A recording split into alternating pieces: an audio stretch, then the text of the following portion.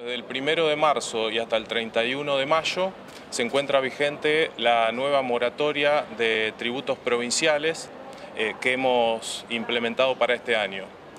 Abarca a todos los impuestos, tasas y contribuciones provinciales, impuestos inmobiliarios, urbano y rural, patente, ingresos brutos, impuestos de sellos, eh, también alcanza a el tributo del Instituto Becario, es decir, a todos los tributos provinciales y tiene la particularidad que está eh, fragmentada en dos tipos de deudas. Las deudas que podemos denominar prepandemia,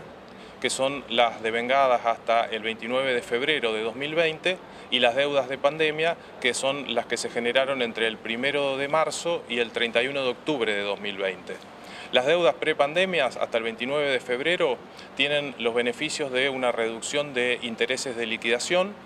también en el caso de pago de contado, de contado se hace una reducción, una, condonación del 80% de los intereses